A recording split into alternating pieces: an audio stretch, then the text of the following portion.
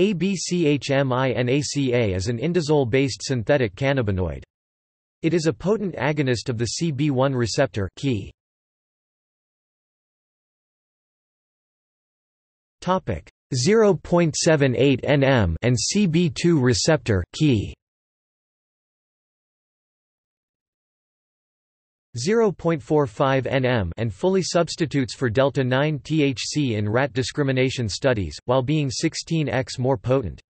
Continuing the trend seen in other cannabinoids of this generation, it contains a valine amino acid amide residue as part of its structure, where older cannabinoids contained a naphthoyl or adamantane residue.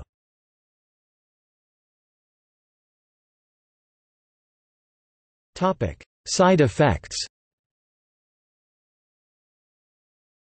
There have been a number of reported cases of seizures, deaths, and psychotic episodes in relation to this synthetic cannabinoid.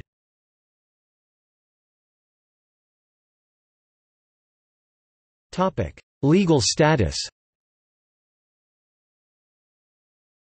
As of 30 January 2015 ABCHMI-NACA is a Schedule I controlled substance in the United States, ABCHMI-NACA is an ANLAGE II controlled substance in Germany as of May 2015. As of October 2015 ABCHMI-NACA is a controlled substance in China, ABCHMI-NACA is illegal in Switzerland as of December 2015.